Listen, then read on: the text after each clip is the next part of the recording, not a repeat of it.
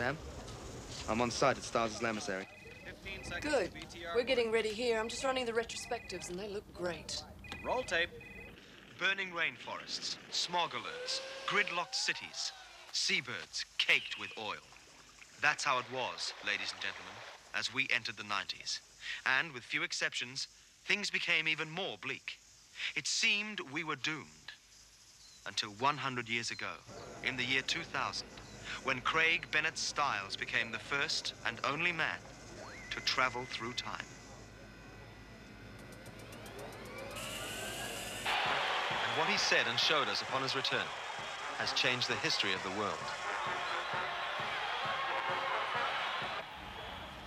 Are you in position, Roger? Yeah, on my way. I'll do the intro live at the entrance to the emissary. You can cut to the first retro after that. Are the international hookups ready? We're ready. 15 minutes to sighting. Tokyo is now online. Здравствуйте. There's Moscow now. Hi, Sam. New York's on three. We hear you very clearly. Standing by. Mr. Shumway. What is it? It's Mr. Stiles. What is it? What's wrong? Has something happened to Stiles? Uh, no, he gave me this. He wanted me to get it to you right away. What's up? What is it, Roger?